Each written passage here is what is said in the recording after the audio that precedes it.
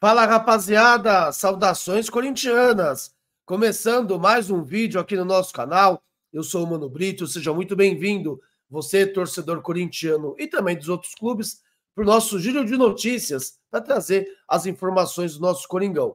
Galera, mercado da bola pede vez e voz aqui no nosso vídeo. Podemos ter saída de dois filhos do terrão aí que podem gerar muita grana para o Corinthians. O atacante Wesley, com destino muito provável à Inglaterra, times ali como Nottingham Forest, Crystal Palace, tem interesse no jogador, mas não é só esses clubes. E o Breno Bidon, talvez aí a grande joia do Corinthians, a grande joia dessa base, também pode acabar deixando o Corinthians o seu destino, pode ser futebol português e o Breno Bidon jogando Champions League, pode acontecer. Já na parte de chegadas, o Corinthians segue na busca aí por reforços e Michael, pelo jeito, agora é o grande foco da diretoria com proposta e quem sabe trazendo esse jogador que vai agregar muito ao ataque do Corinthians, já que ontem, né, a gente patou por 0 a 0 com o Grêmio, teve um gol anulado pelo do Giovani, né, no final do jogo, mas o ataque mais uma vez deixou o torcedor corintiano bem, mas bem chateado. Vamos pro vídeo então? Já sabe. Já vai chegando, deixa aquele like, se inscreva aqui no canal. Após a vinheta, a gente vai começar com as notícias do Coringão. Antes disso, peço que você faça isso. Seu like, a sua inscrição, que ajuda demais o nosso conteúdo e, obviamente, deixe também o seu comentário. Tá no ar mais um giro de notícias aqui no canal do Mano Brito. Salve o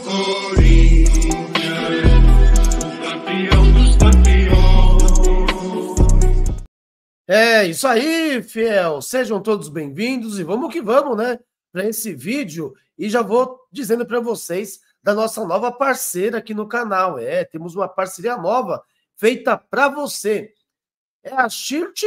Põe aí na tela, põe na tela para a gente ver. Põe aí na tela. É a Shirt Company, a nossa nova parceira aí, uma loja para você adquirir camisas de futebol, tá? Pô, corintiano, palmeirense, são paulino, flamenguista, santista, não interessa.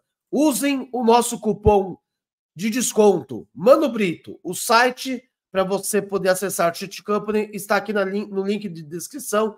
E você tem aí como camisetas do Japão, mas aqui, ó, Corinthians, Flamengo, Palmeiras, São Paulo, Vasco, Al Hilal, Al Nasser, Inter Miami, né? Para você que gosta do futebol europeu, tem parte de retrôs também. Olha os mantos aqui japoneses, da hora. Você tem frete grátis para todo o Brasil, hein? Então acesse agora mesmo o site da Shirt Company, escolha aqui o seu time. Pô, eu quero uma camisa do Corinthians, Mano Brito. Aí você vem aqui, ó, tem a camisa dividida branco e preto, uniforme número um, uniforme número dois, de goleiro, o terceiro uniforme, camisa de jogador você clica aqui, escolhe o seu tamanho, personaliza a sua camisa e no final você põe o cupom de desconto Mano Brito, tá? Usem aí o nosso cupom de desconto para você ter um descontaço lá na loja da Shirt Company. Família, vamos lá, né? Corinthians pode perder dois jogadores da base agora nessa janela de transferências. E trata-se do Breno Bidon, é, uma venda que a gente achava que ia demorar um pouco mais para acontecer, mas de acordo com o meu timão, o Corinthians enxerga a venda tanto do Bidon quanto do Wesley fundamental para fechar a montagem do elenco. Então, a, a principal o principal questão agora é montar o elenco. Hoje, o Wesley ele é mais reserva do que titular. E o Breno Bidon que era titular do Corinthians, após a chegada do Alex Santana e também do Ramon Dias, acabou perdendo espaço. Ontem, o Luiz Sabiani trouxe informação que o, o Breno Bidon recebeu sondagens de Sporting e Benfica para deixar o Corinthians. O Timão entende que não é o momento de vender o atleta, mas pode acabar mudando de ideia caso receba uma boa proposta. Nós sabemos que o Bidon pode render é, muita grana para o Corinthians. Ele é muito, ele é muito melhor do que o Wesley, né? E ainda tem um estilo que o europeu gosta, aquele jogador que joga no meio-campo, podendo fazer duas, três funções. É tido dentro do clube o Bidon como a grande venda do Corinthians. O Augusto Melo, no ano passado, no passado, o Augusto Melo esse ano, havia falado que o Bidon ele tentaria segurar só no que vem uma venda. Mas como a gente falou, né? É dinheiro, se vir uma proposta boa, vai ser quase impossível segurá-lo, pensando também que tem que montar o elenco. E o, Wesley, acho que vocês já estão acompanhando, né? Desde o começo do ano, vem proposta, vem é, especulações, é a Roma da Itália, é Sevilha, é o futebol inglês, agora volta o futebol inglês de novo, e o Wesley pode acabar deixando o Corinthians ou para o Crystal Palace, de acordo com o Samir Carvalho ontem, né, no seu canal, falou que o Wesley poderia ir para o Crystal Palace, uma proposta aí na casa de 18 milhões de euros, mais bonificação, e também o Nottingham Forest indo na mesma, na mesma linha. Uma proposta de 18 mais 3 milhões. O Corinthians quer um pouco mais do que 20. Então nós não sabemos ainda como que vai fechar essa negociação entre Corinthians e esses clubes que estão interessados no Wesley. Mas uma coisa é realidade. Os dois devem acabar deixando o Corinthians nessa janela de transferências. Lembrando, a janela fica aberta até dia 2 de setembro. Aí tem que ver da Inglaterra, quando é que ela abre, quando fecha, da Itália, da Espanha ou de outros países. Tem que dar um ajuste para saber até quando é as saídas. De chegadas aqui para o Brasil termina dia 2 de setembro. A gente pode perder o Wesley. A pergunta que eu faço aqui para você é o seguinte: uh, vale a pena vender os dois agora, pensando na montagem do elenco? Porque a gente vai ter que gastar uma grana com o Edjar, com o Gonzalo Plata, com o Michael, talvez com um lateral esquerdo, talvez com um centroavante. Então você venderia os dois para reforçar o resto do elenco? Tentaria vender apenas um? Ou Wesley ou Breno Bidon? E manteria um outro jogador? E aí sim, na próxima temporada, ver um outro tipo de proposta? que às vezes a gente perde o time, né? Vê uma proposta muito boa, perde o time, igual foi com o Wesley, né? Wesley, quando estava com o Fluminense, a gente falava de uma venda de 30 milhões. Hoje, a gente está falando, por, por 18 eu levo para o aeroporto. Por quê? Ele caiu de rendimento.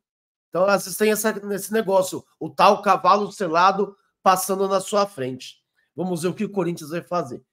E para reforços, acho que todo mundo já sabe que o Edjar está bem próximo do Corinthians, né? Tudo certo entre jogador e clube. Inclusive, o Edjar está tentando a rescisão de contrato dele para até ajudar o Corinthians.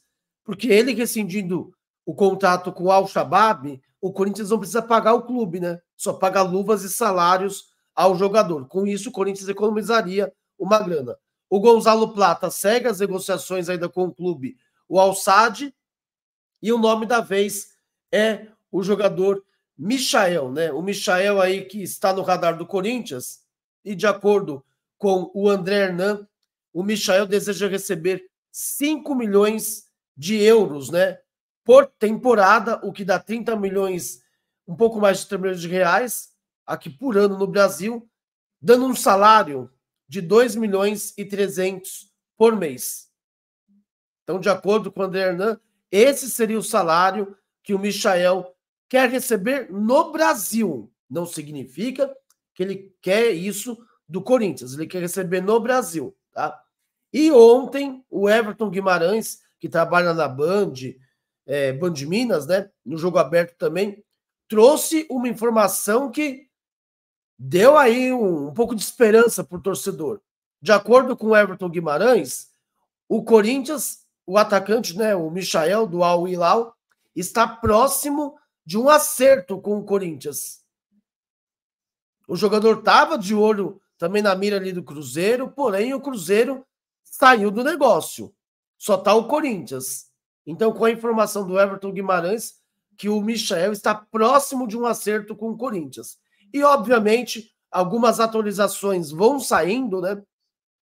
Que o Michael gostaria, né? Ou quer receber 10 milhões de euros em luva, o que daria aí uma, um valor de quase 61 milhões de reais, um pouquinho, um pouquinho mais do que isso, para o Michael vir aqui para o Coringão. É, luvas que ele quer receber. Vale a pena, não vale a pena? Aí é com você no chat. Mas as informações são essas. E, obviamente, o Corinthians quer a contratação do Cuejar, do Plata e do Michael.